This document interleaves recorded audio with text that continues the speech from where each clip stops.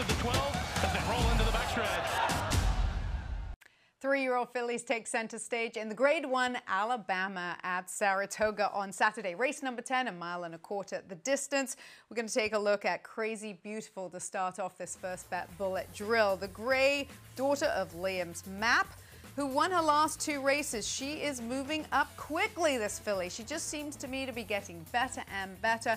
She looks like she's galloping here. She goes 49 and 2, but boy, she looks like she's just in an absolute gallop. Obviously, a very happy, healthy filly for the barn of Ken McPeek. That's crazy beautiful. Now we're going to take a look here at Maracuja. She's the only filly to have beaten Malathaat in her six race career, and she did it uh, last time out in the Cal Cup Oaks, the grade one.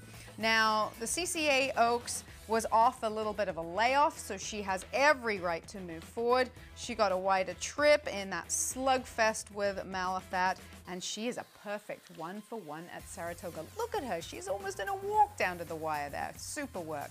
And now Malathaat. We mentioned this daughter of Curlin out of an AP Indy mare.